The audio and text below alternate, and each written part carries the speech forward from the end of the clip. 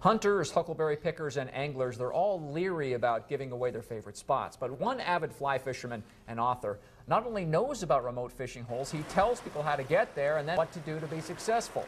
His targets are Montana's smaller, lesser known streams. In this little stream, I've caught 20 inch cuts. I've caught some bigger bulls. But mostly you come to these little streams to get away from everything else. Tag along with trapper Badovinac to watch and to learn. That's tonight at 10 in my weekly trip to the great outdoors.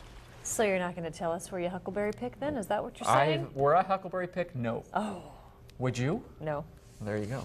So where's your favorite place to fish? And would you tell just anybody how to get there? One Montana man knows the state's waterways like the back of his hand, and he's more than eager to share what he knows. Let's take you to the great outdoors. This is what I do. This is what I love. This is my passion.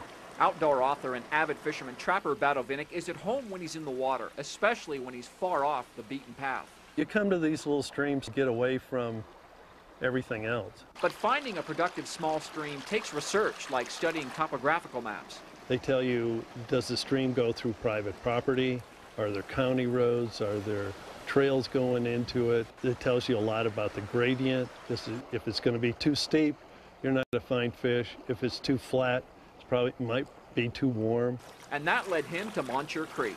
We've seen a couple midges, a few smaller bugs, but no nothing in the way of a hatch, and so the fish, they're not going to move. Monitoring air and water temperature is also key. The hatches don't start till about 50 degrees, and so you have to hit that time of day, which is real nice because you can sleep in and hit these about noon and have a really good day in a few hours in the afternoon. And then there's the proper equipment. I like to use a two-way rod. It's, you know, it's nothing to it. It's a couple of ounces. And if you get a light rod, you're going to hook up fish and they're going to feel like a big fish. So while most anglers choose to fish Montana's larger, more popular big name rivers, you'll find Trapper far from the crowds. This takes a little bit more work. Um, the fish are a little bit smaller. You're going to have to, to do some walking. You're going to have to do some climbing over wood debris pile. But it, I think it's worth it just for the solitude. And if you'd like to learn more about Trapper's insights into fishing Montana's smaller streams, log on to kpax.com, click on Missoula, then the Fly Fishing with Trapper news links. And two of my better outings last year were on smaller streams. You know, there's nobody out there that doesn't get the fishing pressure.